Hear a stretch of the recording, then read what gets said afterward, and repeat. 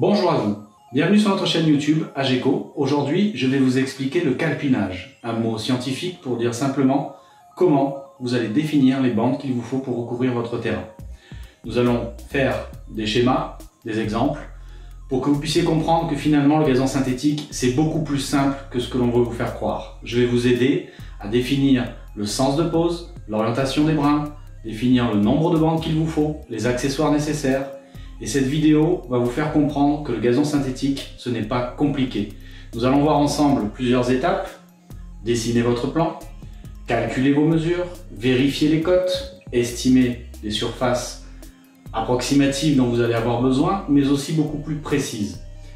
Je vais vous aider à réaliser votre chantier simplement, rapidement et surtout maîtriser l'aspect professionnel du gazon synthétique. Donc, dans la première partie de notre vidéo, nous allons parler d'un rectangle, la surface la plus simple et la plus rapide à couvrir en gazon synthétique. Nous allons imaginer que vous avez chez vous une surface rectiligne, droite, idéalement faite par un maçon fantastique qui a réussi à réaliser votre terrain droit. Nous savons ensemble que cela est totalement impossible, mais ça va vous permettre de voir que il existe aussi cette éventualité d'avoir un maçon extraordinaire. Partons du principe que vous avez 6 mètres de long sur 4 mètres de large. Vous le savez, les bandes de gazon synthétique existent en 1, 2, 3 ou 4 mètres de large. Dans des longueurs maximales de 25 mètres pour les gazons qui dépassent les 30 mm, et vous pouvez trouver des rouleaux plus longs dans des petites hauteurs comme du 30 mm ou du 20 mm, des rouleaux pouvant aller jusqu'à 30 mètres unitaires. Dans le cas de cette surface simple, il n'y a pas de prise de tête particulier. Vous avez 4 mètres de large, 6 mètres de long. Une seule bande peut suffire à réaliser votre terrain. Vous pouvez utiliser une bande qui va couvrir en une seule fois votre surface. 4 mètres de large, comme on l'a dit, 6 mètres de long. Attention, petit secret. Si vous avez 6 piles et que vous avez mesuré avec un mètre classique que l'on trouve dans le commerce, n'oubliez pas que votre mètre est rigide et que votre sol peut avoir des légères irrégularités quand vous mesurez. Si vous mesurez droit, vous l'avez compris, vous avez la possibilité d'avoir des erreurs. Nous verrons dans une autre vidéo que bien évidemment, le sol doit être le plus droit possible pour faciliter votre pose.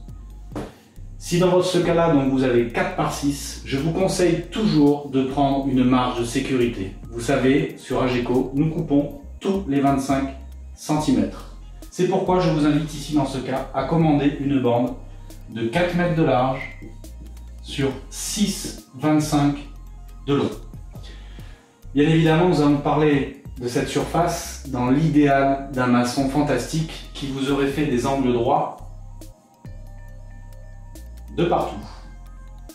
C'est totalement irréel, mais vous faites peut-être partie de ces chanceux qui ont rencontré le maçon idéal et qui a réussi à vous faire cette surface. Grâce à 25 cm de sécurité, si l'un des angles n'est pas droit, vous aurez la possibilité de pouvoir faire l'intégralité de votre chantier en une seule bande.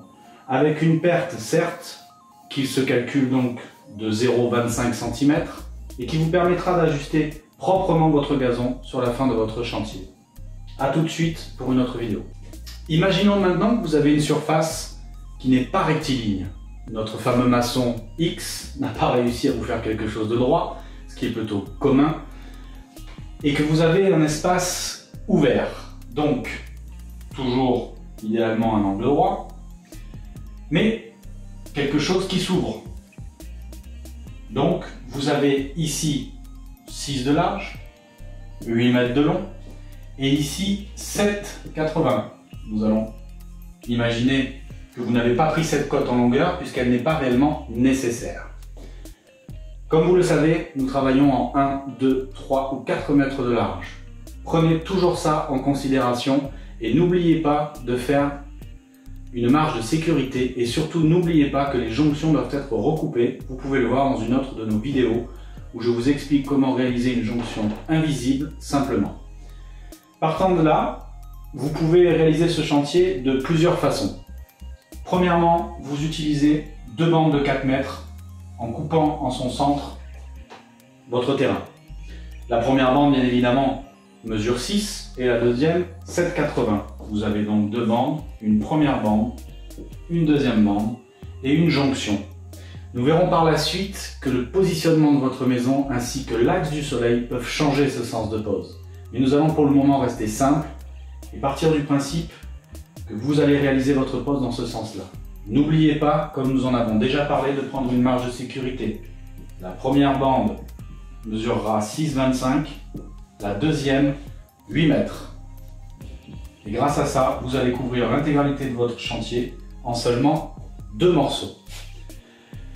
Imaginons maintenant que vous ayez le, souhait de poser dans un sens différent, pour une raison d'un arbre, d'une piscine au milieu, de quelque chose qui pourrait être amené à poser un problème sur des largeurs de bande trop grandes. Vous avez donc la possibilité de réaliser ce chantier avec une autre méthode. 6 en prenant une bande de 4 mètres dans sa largeur et en passant en fait le sens comme ceci. Une bande de 4 et une bande de 2. Cela vous fait donc 6 piles et vous pouvez faire la longueur que vous souhaitez. Pareil, prenez toujours un petit peu de sécurité, 8 mètres, c'est largement suffisant. Vous pouvez aussi le faire en déplaçant la jonction au centre, grâce bien évidemment à nos bandes de 3 mètres. 3 par 8, 3 par 8. Imaginons maintenant que vous avez des formes arrondies, des angles ouverts, nous l'avons vu sur le, le schéma juste avant. Nous allons essayer avec des angles totalement ouverts. Des arrondis irréguliers, une structure totalement libre excusez les dessins, je ne suis pas très artistique, mais partons du principe que ceci est votre jardin. Nous allons avoir donc besoin de prendre ce que l'on appelle un point de départ, un angle droit. Idéalement, vous allez prendre, par exemple, ce qui est le plus rectiligne possible, ce qui vous paraîtra le plus régulier. Imaginons donc que vous prenez un point droit ici. Ça sera votre point de départ. Idéalement, vous pouvez utiliser des matériaux comme des cordex pour permettre de tirer un axe droit sur votre terrain. Le plus droit possible, bien sûr, ce n'est pas surmontré. Mais grâce à ça, nous allons en fait quadriller votre terrain à l'aide des bandes pour, pouvoir définir ensemble le nombre de longueurs dont vous avez besoin. Imaginons qu'au plus loin ici, nous ayons 10 mètres. Nous faisons la même chose dans l'autre sens et nous allons plus loin, vous l'avez compris, dans l'axe, toujours, et nous trouvons 8 mètres. Un calcul simple pourrait estimer que vous avez besoin de 80 mètres carrés, et c'est une évidence. Maintenant, il y aura peut-être besoin de 82, 83, 86 mètres carrés. N'hésitez pas à prendre toujours des marges de sécurité quand vous réalisez un gazon synthétique, car un problème peut toujours survenir. Une erreur de coupe, un problème dans la livraison, tout impondérable peut être solutionné si vous avez en possession le même gazon synthétique de couleur qui vous est livré. Donc prenez toujours une marge de sécurité. Dans ce cas-ci, nous partons du principe que votre première bande peut faire donc 4 mètres puisque vous avez 10. Donc 4 mètres plus loin sur votre cordex ou sur votre espace que vous avez rendu rectiligne, vous allez prendre une mesure. Tout aussi estimative que vous puissiez le faire. Maintenant, attention, vous le voyez ici, il y a un piège. Votre première bande partant de votre point, appelons le premier, le premier point que vous allez mesurer. Le deuxième axe que vous allez mesurer représente l'intégralité de la bande dont vous allez avoir besoin. Vous avez donc compris où se situe le piège, c'est que la première longueur doit être égale à la totalité de votre terrain. Vous avez donc une perte qui se matérialise ici. Mais vous devez la prendre en compte. Imaginons donc que nous avons besoin, comme nous l'avons vu ensemble, de 8 mètres, c'est votre première bande, 4 par 8. On continue donc 4 mètres plus loin, et nous arrivons par exemple ici. Le piège maintenant vous le connaissez, vous savez très bien qu'il faut prendre les points et les axes les plus loin, donc vous définissez le point le plus loin à 4 mètres de distance en étant le plus droit possible, et vous définissez tout simplement la deuxième bande. Imaginons-la à 8,60. La dernière bande pour arriver à 10 serait un 2 mètres.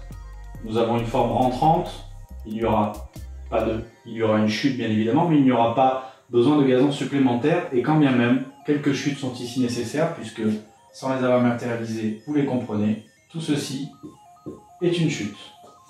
Donc, la dernière mesure devrait faire moins de 2, peut-être 2 piles, mais partons du principe qu'elle est de 2 mètres. Dans l'axe global, elle fera forcément 8,60 puisque c'est le point le plus long dans notre exemple. Pas besoin de remesurer, vous l'avez compris.